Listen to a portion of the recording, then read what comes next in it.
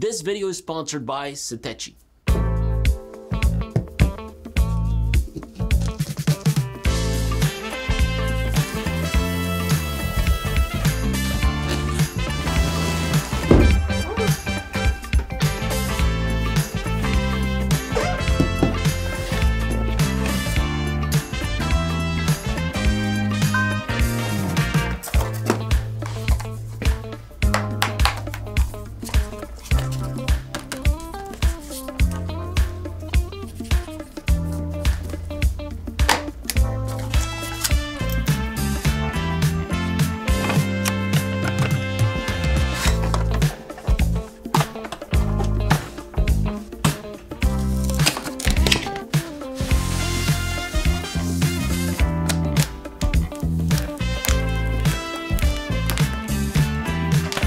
It feels a bit unreal to be able to afford an Apple monitor. You know, a $1,600 monitor is never cheap considering the fact that it's a 5K Retina display with a 27 inch panel and apparently an outstanding camera and great audio performance.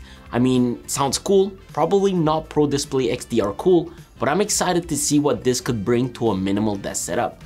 Could be the monitor that finally pushes me to switch to dual displays workstation? Huh, maybe although $4,000 becomes a bit obsessive. Who knows, maybe you'll subscribe to the channel so we can afford more tech. Was that crying good? Uh, it's okay. I think we should definitely be in a Marvel movie. I've had this thing for over a week now and you know it's it's been fun. Not ultra wide fun though. Hardware wise it's absolutely solid. The whole chassis is made out of aluminum and glass. Great attention to detail around corners, cutouts are perfect, Black bezels are a bit chunky, although the panel looks beautiful. For standard glass, it really is awesome, but I have yet to try the nano texture glass. As solid as this monitor feels, which in my opinion, there is nothing like it on the market, the huge letdown is the unibody stand that comes built in. Don't get me wrong, the hinge on this is buttery smooth and you barely need to apply pressure for tilt. However, at purchase, you need to decide what type of stand you wish to have meaning that if in the future you would like to VESA mount it, well it's just not possible. You see my review unit has a tilt adjustable stand and that's about it. It tilts from minus 5 degrees to 25 degrees, but it's a bummer cause there isn't a height adjustable feature in case things feel low. You just get this standard 4 inches and 3 quarters in height from the base to the bottom chin of the display. However, for an extra $400, you can upgrade to their tilt and height adjustable stand. But I mean, I would just rather buy a quality VESA mount monitor stand, so I would just have more adjustability features. Next to the stand in the back, you will find three USB-C ports delivering 10 gigabytes per second, all next to a single Thunderbolt 3 port to charge and feed data to your Mac. Satechi was kind enough to send us a few goodies to accomplish this though. We've got their Thunderbolt 4 cables that are very nicely built braided and can be easily stored if you want to travel with them. You see, Satechi sponsored this video so we can keep bringing cool tech to the office. They are a company that brings productivity to a setup in style. I've been working with them for the past three years on Instagram and over the years they've sent really cool tech. Whether that's a Mac mini dock, their Pro hubs to allow you to rock dual displays on M1 MacBooks, iMac hubs, and even their 165 watt USB-C GaN charger.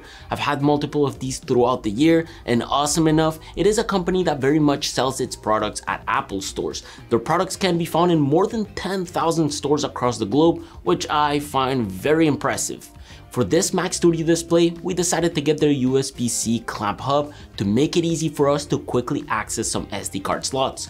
It's really nice and minimal, love the silver matching the studio and the clamp makes it super easy to install. Although my favorite one has to be their stand and hub for the Mac Studio, it features a USB-C data port, three USB-A data ports, micro SD card readers, a 3.5mm headphone jack, and the best thing is that it's equipped with an internal SSD enclosure.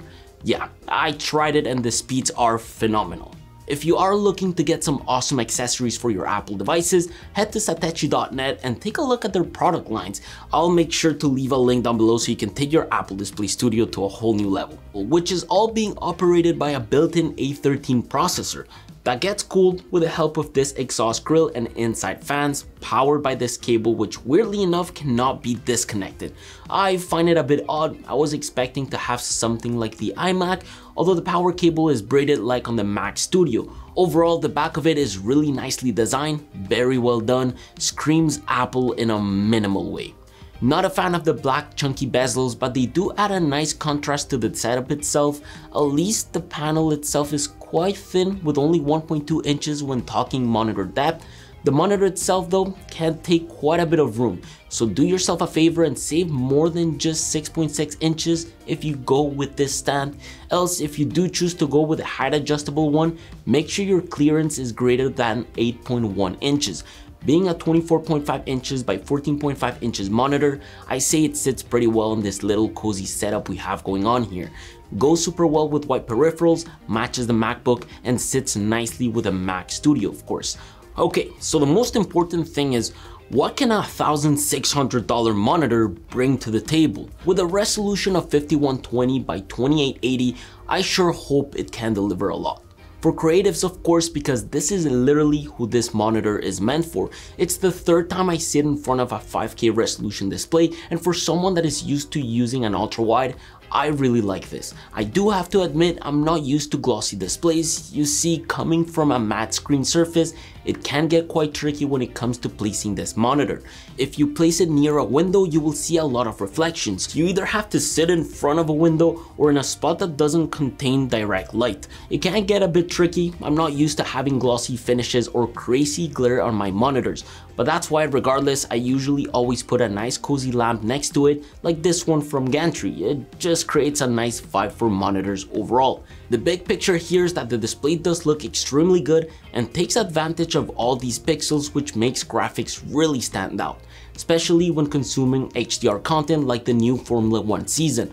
Let me know with a hashtag F1 down below if you are watching the current season Besides that, I think for us the most essential use for this would be color grading and design. I am looking to get a Loupedeck and switch to Resolve so we can color grade things to perfection.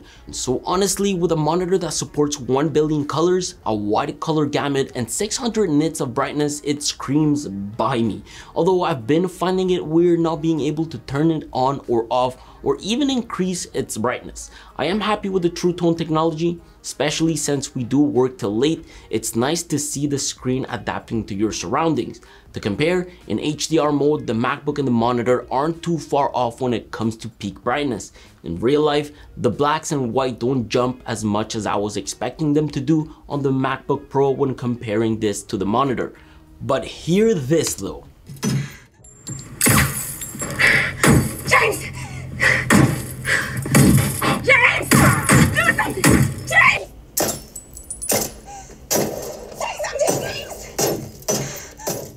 Quite insane considering that the MacBook speakers are already really, really good.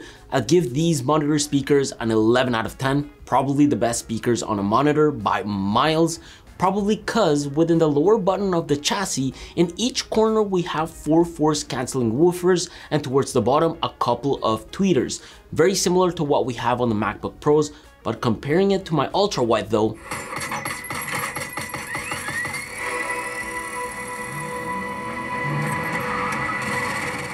Well, it makes you want to cry because it honestly just sounds nothing alike. For $1,600 though, I am quite happy that the camera delivers center stage with a 12 megapixel ultra wide camera with 122 degrees of field of view and an aperture of 2.4. It does look pretty good.